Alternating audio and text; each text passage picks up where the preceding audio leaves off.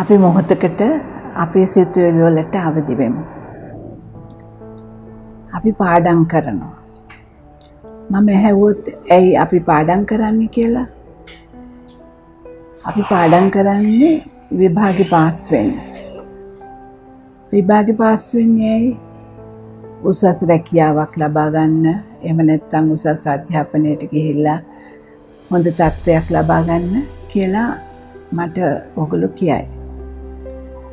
දැන් ඒ වගේම අපි විභාගේ මෙච්චර පාඩම් කරලා විභාගේ අසමත් වුණොත් එහෙම නැත්තම් අපි බලාපොරොත්තු වෙන විශිෂ්ට සාමර්ථ්‍යයක් ලැබෙන්නේ නැත්තම් අන්න එතකොට අපි මනසින් වැටෙනවා.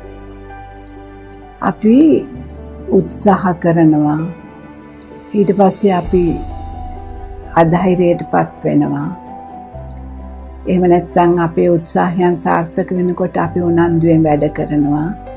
මේක තමයි අපි මිනිස්සු හැටියට අපි අපි අපේ අත්දැකීම.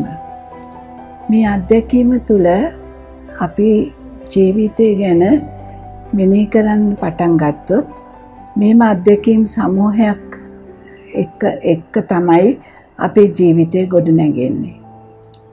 මේ ජීවිතය කියන එක අපිට ඉතාමත් වැදගත් දෙයක්. මේ ජීවිතය අපි සාර්ථක කරගන්න උත්සාහ කරනවා.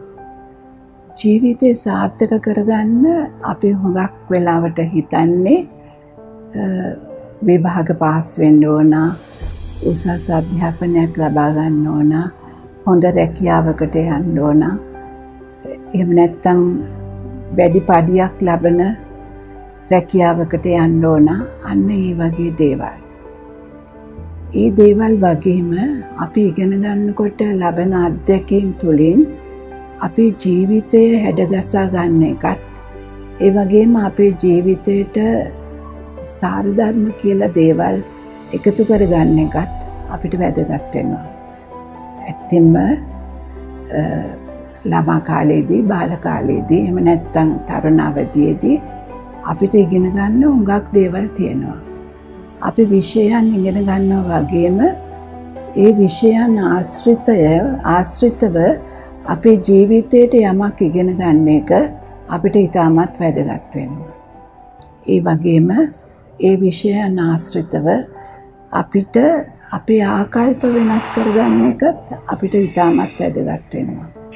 එතකොට සමාජයේ අපෙන් බලාපොරොත්තු වෙන යම් යම් දේවල් තියෙනවා. ඒ කියන්නේ සමාජයේ සමාජයේ අපෙන් බලාපොරොත්තු වෙනවා උසස් අධ්‍යාපනයක් ලැබලා උසස් රැකියාවකට ගිහිල්ලා අන්න එතකොට තමයි උසස් රැකියාවකට ගිහිල්ලා හොඳ පඩියක් ලබා ගන්නකොට තමයි සමාජයේ හිතන්නේ සමාජයේ සාර්ථකත්වයක් ලබා ගන්නවා කියලා කියන්නේ.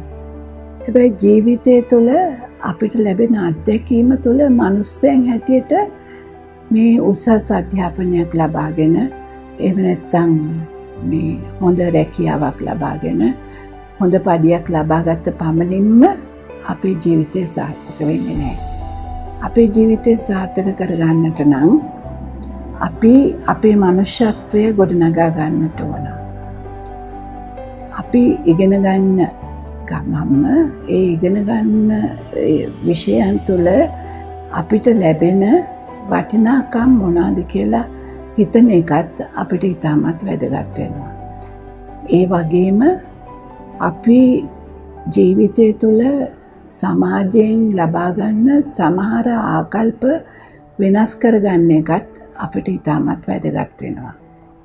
ඒ වගේම මේ සමාජ අපි පාඩම් කරලා අසමත් වෙනකොට ඒ අසමත් බව තුළ අපිව අපි අපිවම එපා කරගන්නවා වෙනුවට ඒ අසමත් බව අපේ ජීවිතය ජයගන්නට අභියෝගයක් කරගන්න එකත් අපිට වැදගත් වෙනවා.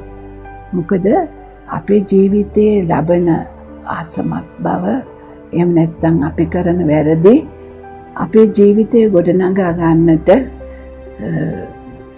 පියවර සටහන් බවට අපිට පත් කරගන්න පුළුවන්.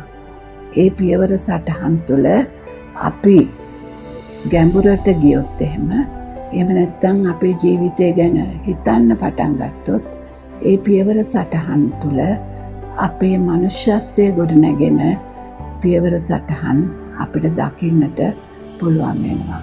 ඒ නිසා අපිට වැදගත් වෙනවා.